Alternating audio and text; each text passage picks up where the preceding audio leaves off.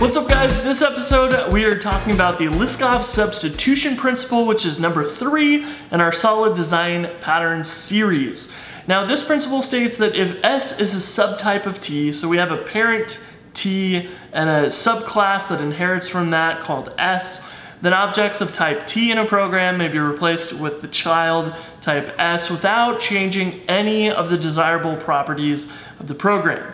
So let's take a look at an example. And here's a quick uh, other version of stating this that I found way more readable or understandable. Subclasses should add to a base class's behavior, not replace it. So if we had a class of birds where our birds could fly and walk, we could create like pigeons, we have them inherit from bird. We could create like cardinals and have them inherit from bird, all kinds of other birds. Um, and then we could define a method like migrate south for the winter.